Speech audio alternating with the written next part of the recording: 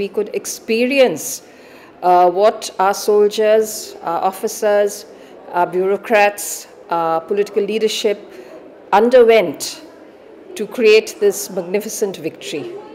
Uh, a victory which every Indian, I feel, should have an opportunity to view because it's a very authentic presentation. I will not say representation, it's a very authentic presentation of what actually transpired and the very critical moments that took place in this entire um, episode of the Bangladesh war.